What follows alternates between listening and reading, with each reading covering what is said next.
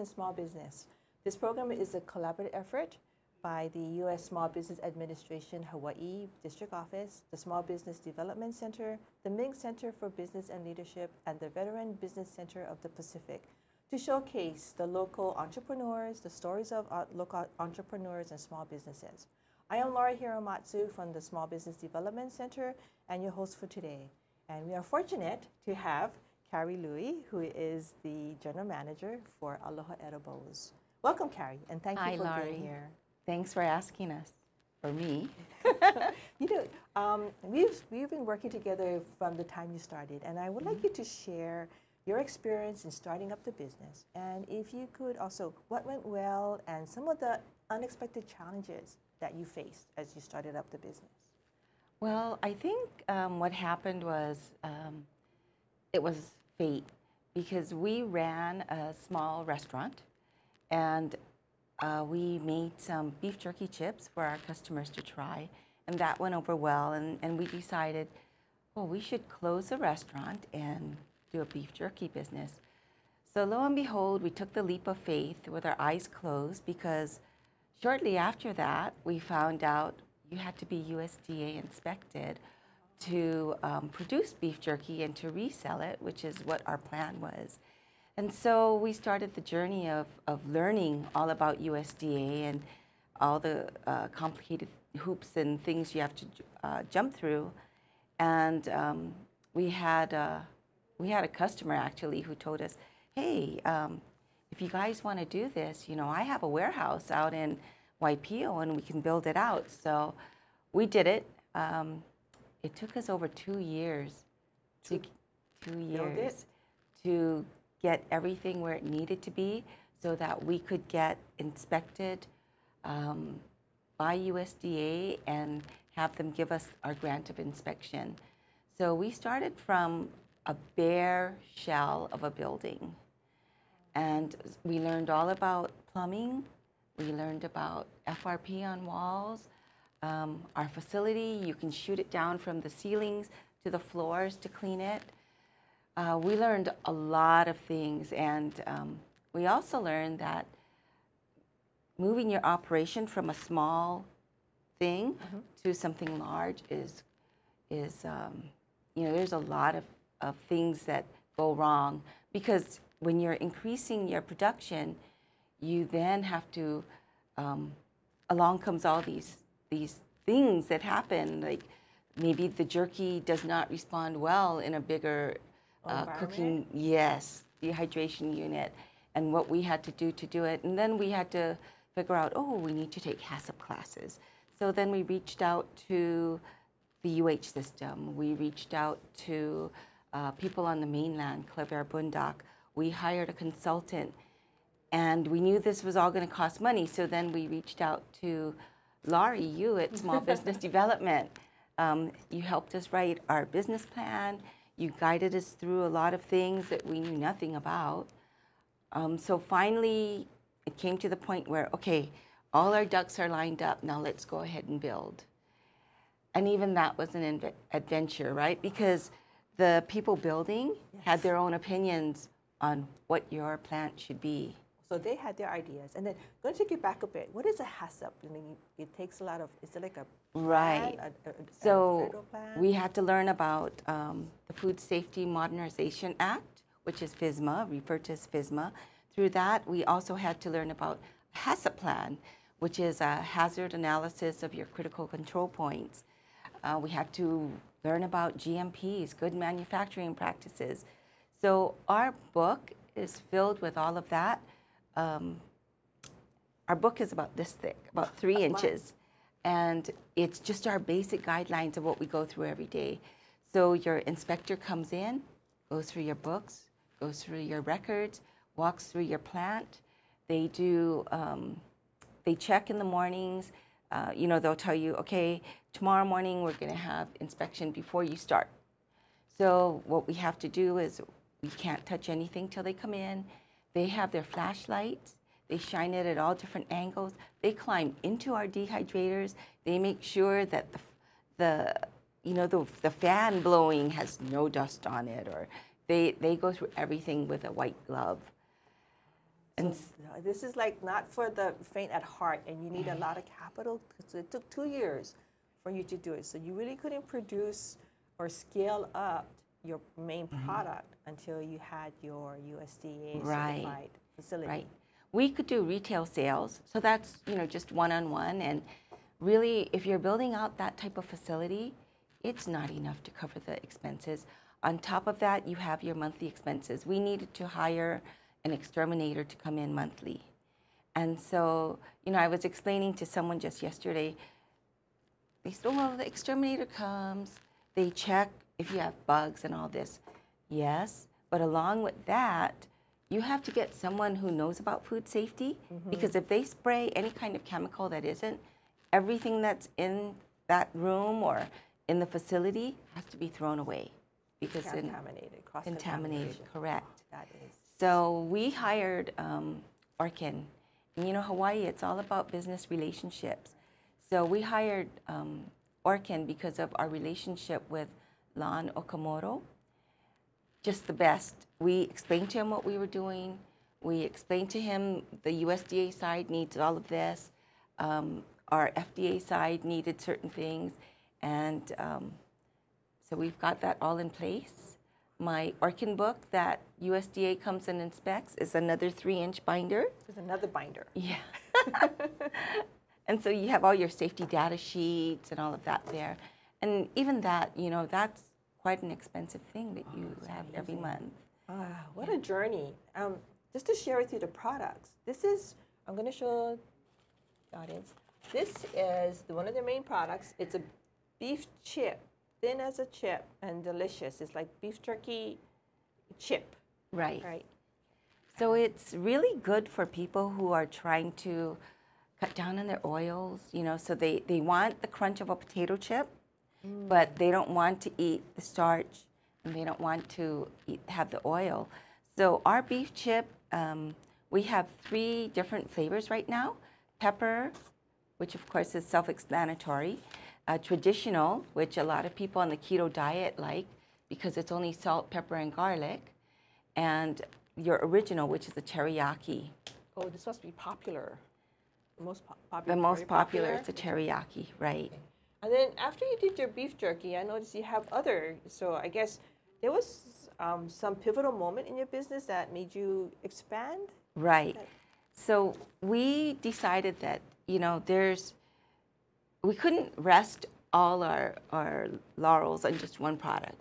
right. And the company owner and our core group of people were all kind of crazy. So we, and we're all foodies. So we all have our favorites and we discuss things. And so um, the next product we came up with was our furikake potato chips. Oh, these? Yeah. And, you know, everybody in Hawaii, right? Furikake is a big thing. So we have that, does really well. Then we said, okay, we, we got to do something else. Yes. And we always, for some reason, we don't stick in the same category. So we ended up doing this, an instant creme brulee Ooh, I mix. tried this. And talk about Really instant. easy. You mix the packet with four cups of heavy whipping cream, bring it to a boil for one minute, and refrigerate. And you get restaurant quality creme brulee. So we have it in the original, which is a vanilla, and Kona coffee. And we're really lucky because the owner's uncle is Stanton Ho. And Stanton Ho is touted to yes. be um, the pastry chef of the millennium. He took the pastry team for the US to Lyon, France. And Nice. that was the first team to ever get gold from the US. Wow, nice. nice So accolades. unfortunately, he passed away um, recently, but you know he left us this gift, and so we have this creme brulee mix that does quite well. Then brainstorming again, we decided to start making doggy treats, Oh my gosh. and that's it? um, that's it right there, 100% beef. If you're on a low salt diet, that's wonderful. I eat that. Human consumption Human consumption. is okay. Yep. Same type of beef we use for the beef jerky. Your dog may not be too happy though. Well, but um, nice. my dog loves, Loves it. it. And, Nice. and and it's you know everybody's going to the healthier uh, treats for their animals, It's very, very healthy. So then a couple weeks ago, we, um, oh, not, then the next product we looked at, totally different again, called Java Lava. And it's 100% Kona coffee tablets. You drop the tablet into boiling water or hot water, stir it, and then you get Kona coffee in a cup. But the unique thing about this tablet is we've made it into different shapes. So one is a shell shape, one is a hibiscus. We're working on other shapes, and we're getting ready to launch this product in a couple weeks. Oh, nice. This is going to be, where can you find this? Hopefully, you'll be able to find it at stores like Daiei or not Daiei anymore, Don Quijote. Um, you'll be able to find it at uh, perhaps Safeway, you know, Wholesale Unlimited. That's where we sell our other items. And so, um, because we've got that product almost ready to launch, we were sitting down again and we came up with another new product. Our furikake chips did so well, we decided to make it into a cookie. You have So- a cookie here. It has a, but So it's a Cookie. furikake potato chip uh, cookie with chocolate chips in it. oh, nice. And it's a very unique flavor. And my, one of my girlfriends says, I don't even like cookies, but I can't stop eating these. So quite addictive. Ah, so that's an, so in the last few years, you went from your main product, which is the beef jerky, Mm-hmm. expanded to chips, your creme brulee, your dog treats, your co- so new adventures. So what advice do you have for small businesses, you know, on surviving in, in Hawaii and making things work? You have to love your product, but not be in love with your product. You have to be willing to be like bamboo. You have to be strong, but you also have to bend. You know, you have to rely on your resources. I mean, I have many people that um, are my mentors. Lori's our mentor for you know business Thank advice. Um, we use resources like uh, Aurora Salo and Lauren Tamamoto from the UH systems. Um, I use Claver Bundak from the mainland, who's an, you know, a great resource. We um, oftentimes call our consultant Kenny Olds. We we have a number of people who can can lend a lot of light on many facets. So you sort of like build your team, make sure that you're always connecting with them, and then making sure that you network or make the connections. There's a lot of resources out there that, like Oh, you had shared. So small businesses are really highly recommended to reach out and then seek help when they need it, not too late. I like your saying about um, love your product, but don't be in love with it. Can you expand on that and, what brought you to that um, saying? Sure. For instance, um, you know, I I really like a lot of different types of food, but other people may not, right? So when we first came out with, um, for instance, the beef jerky, we had so many people telling us, "Oh, you know, um, I really want it a little bit thinner," or on the other hand, I really want it thicker. I want it to be more traditional. I want this or that. And so we had to experiment. We do a lot of taste testing. We take it to um, like events like Made in Hawaii, and we'll get customer feedback on it. And some of it may hurt. You know, they may say, well, I don't really like this flavor at all because I don't really care for ginger or I don't really care for teriyaki. But don't take it personally. Yes. You have to take it as, as really good advice and someone critiquing. Listen to your customers. right? Yes. We're going to take a short break here, and then we'll be right back. Aloha! I want to invite all of you to Talk Story with John Waihe'e every other Monday here at Think Tech Hawaii. And we have special guests like Professor Colin Moore from the University of Hawaii, who joins us from time to time to talk about the political happenings in this state. Please join us every other Monday. Aloha. Aloha, I'm Tim Apicella. I'm here with, Cynthia Sinclair. and this is Trump Week. It's going to appear every Friday at 11 a.m. between Jay Fidel, Cynthia, and myself.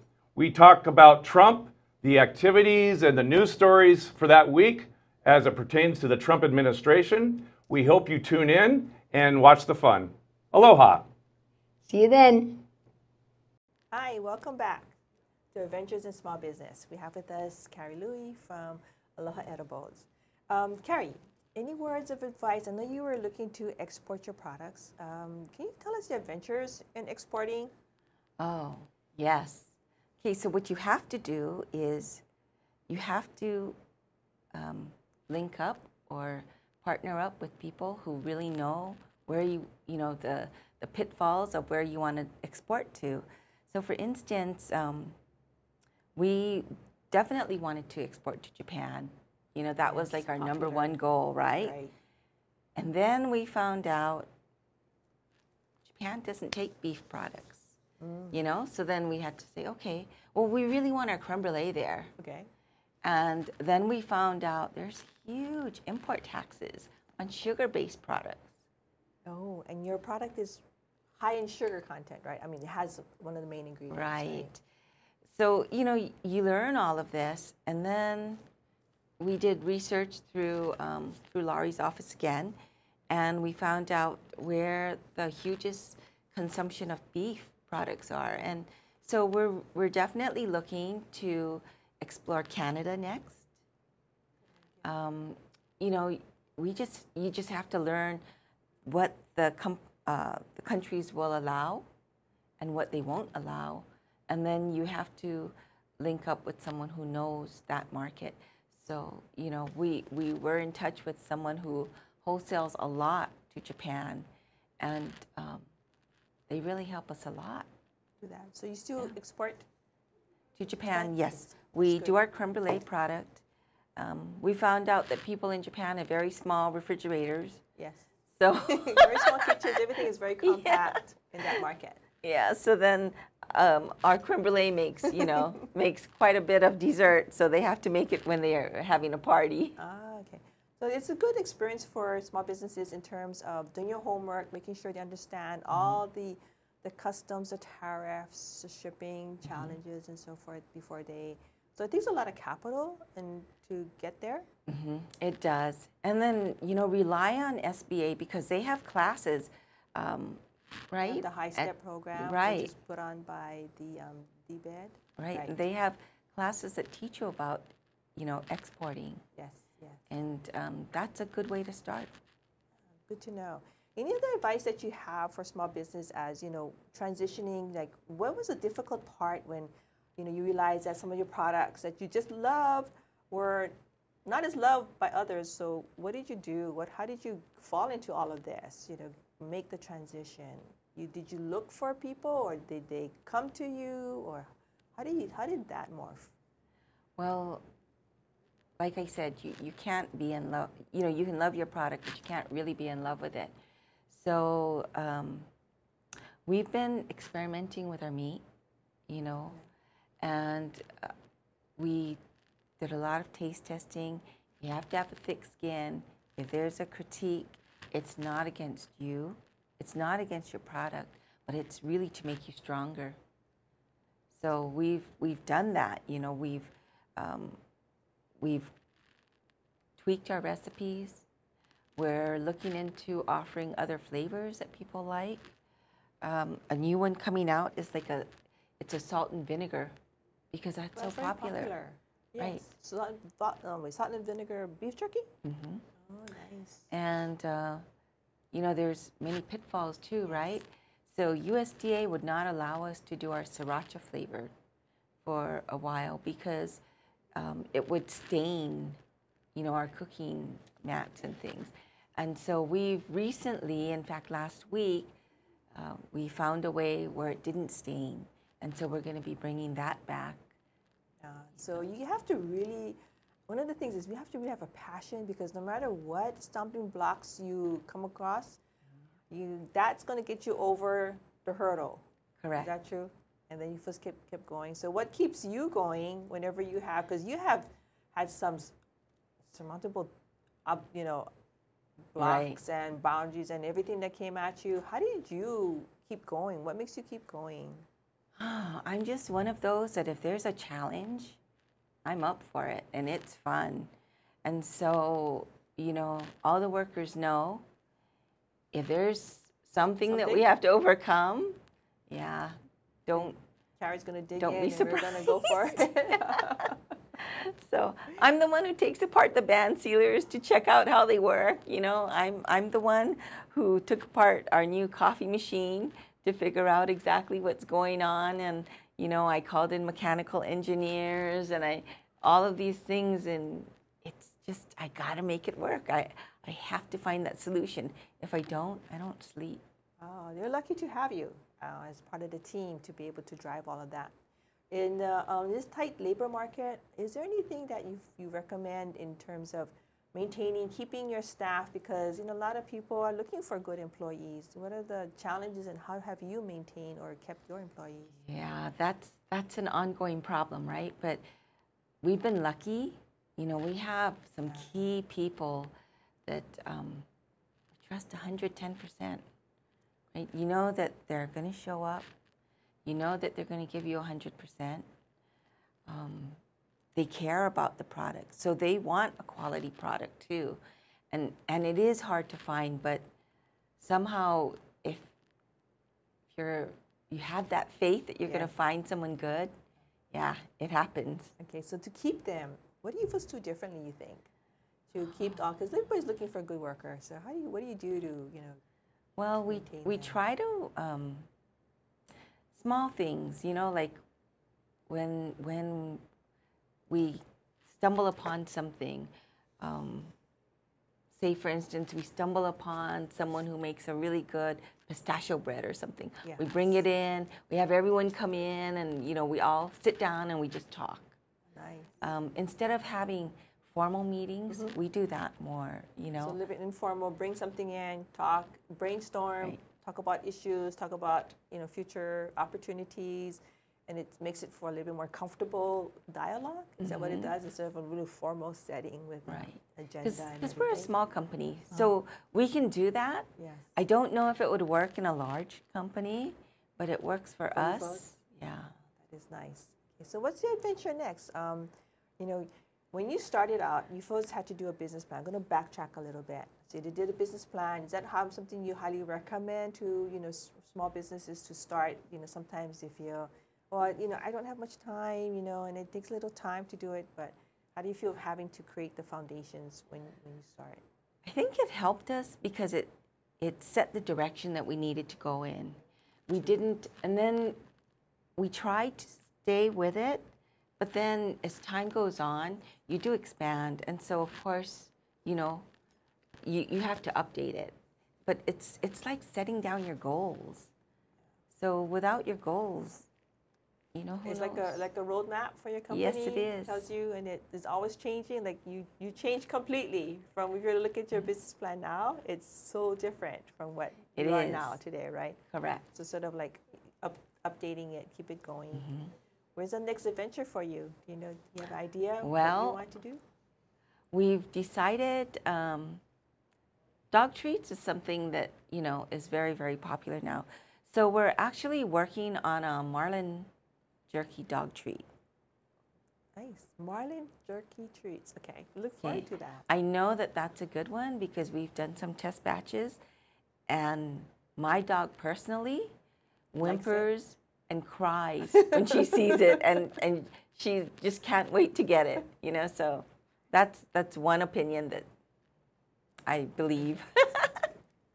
Okay, that's great. I, I think that's interesting. And then I think you mentioned real quickly before we have to wrap up here is um, co-packing.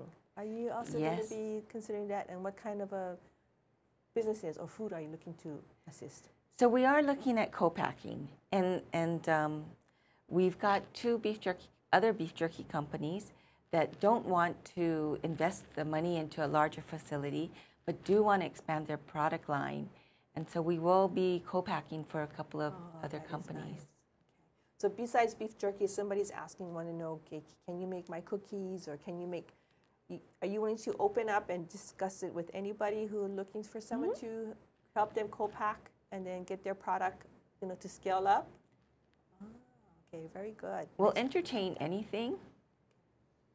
and then and then that'll be your next adventure, Yeah. right? As you as you expand. So This is very interesting, and it's you know it's um, it's been a pleasure you know going the journey with you know with Aloha Edibles and you, and as we work towards you know um, growing the company, you know moving forward. Um, your facilities there. Um, any any words to anybody else who you know wants to consider? Are you open to people looking at your facility to a certain degree, or They can give us a call. Um, we, we do mini tours if, if someone wants to see it. Um, you know, we're, we're proud of our facilities, so are you the only USDA we're not the only ones on Oahu anymore. Okay. Uh, there's one other. Um, but I do know this. We're very, very proud that when USDA walks through Mm-hmm. and they tell us this is the cleanest facility they've seen so far, Right. you know? In the state and, and it's because we're new too right you know but it feels really good when they say wow no problems here. We're going to be wrapping up, but any other other words you'd like to share with us as far as the business or to impart on small business owners as they start to develop their team? Like, you know, what are the team members that you folks look for as you move forward in, the company? i think the first thing you have to do is is find people who you can have as mentors like you There are You know, resources out there. the resources And if you could share with us your phone number, your contact, your website information. Um, so our website is www.alohaedibles.com and um, our phone number at work is 808 732 2292 and we're out in Waipio. So if you'd like, drop by. Um, our hours, hours are governed by USDA, so we're there Saturday, uh, Tuesday through Saturdays from 6 a.m. to 2:30 p.m. so they can buy all these products at your factory. Yes. Okay, and then other than that, they're located at Don Quijote, and then all of these are located. Safeway, Safeway. not the whole line. You know, stores pick and choose. So we're at Wholesale Unlimited. Um, we're at some farmers markets, uh, especially Windward Mall and Fourth Street Mall on Fridays. We're at Don Quijote, Safeway, uh, Matsumoto Shave Ice, Oh, you're all over the you place. know. Nice. Dole. Yes. Okay. So, but they can go to your website, and that will tell them where your products are located and how to get them, or they can. And they can shop online. Yes, they can shop online on our website. Okay, good to know. Um, well, thank you for being here. Um, I know that this has been a very, very exciting journey. Um, Carri has much expertise. She has um, whatever she puts her heart in. She has done more than hundred percent, hundred and you know, there's other resources out there as well for anybody who needs assistance besides us, the Hawaii SBDC. But uh, we really um, enjoyed working with her, and we'll continue to work with her going forward.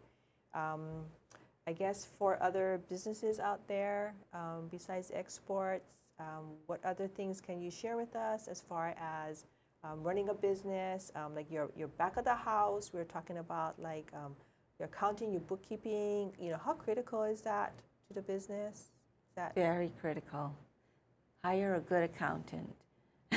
from the beginning, right? You know, it's good to have a good accounting system very from be- the very beginning before you start, because once you ramp up, how is that? You know, you had a system.